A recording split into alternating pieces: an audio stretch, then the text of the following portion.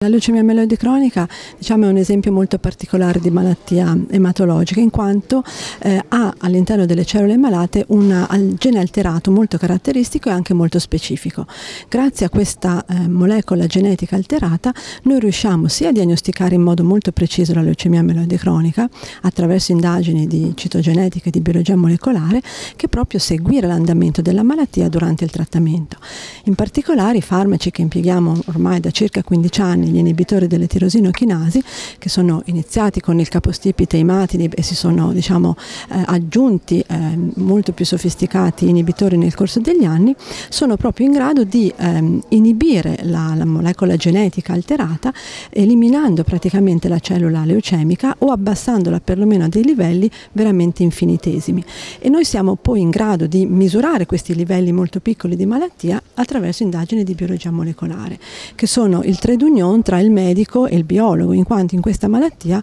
il ruolo anche del laboratorio è fondamentale, proprio perché i risultati così eh, strepitosi ottenuti con i farmaci ci eh, obbligano, tra virgolette, a seguire l'andamento della malattia solo attraverso indagini di biologia molecolare molto sofisticate che ci permettono di seguire l'andamento e anche di scegliere poi il giusto trattamento per il paziente. Tutti quelli che ho nominato sono trattamenti di medicina di precisione, perché la medicina di precisione nasce proprio dal fatto che ci sia un target, un bersaglio e quindi sono eh, farmaci, gli inibitori di tirosino chinase, eh, prototipi di tutta la medicina di precisione che poi è seguita a questi farmaci. Diciamo che noi abbiamo fatto anche un passo in avanti ora, cioè nonostante questi risultati molto, molto confortanti, molto strepitosi,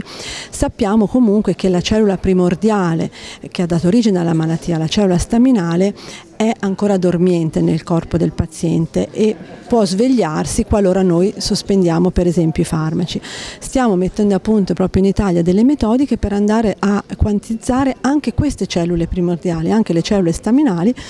proprio per riuscire a identificare, anche qui attraverso indagini di ultra precisione, perché addirittura andiamo a cercare le cellule primordiali della malattia, identificare quei pazienti che possono anche sospendere il farmaco e non avere poi la ripresa della malattia una volta sospeso. La chemioterapia in questa malattia non esiste praticamente più. Questi farmaci, tutti i farmaci diciamo, che si sono sviluppati, hanno delle piccole eh, loro caratteristiche di tossicità, ma sono più che tossicità direi dei piccoli effetti collaterali animali molto sopportabili. Eh, in realtà colpendo esclusivamente la cellula leucemica va da sé che non, danno, non fanno danni ad altre, ad altre cellule, quindi sono molto comodi, sono per bocca, si possono veramente assumere tutta una vita. Ovviamente stiamo cercando il modo di arrivare anche a non doverli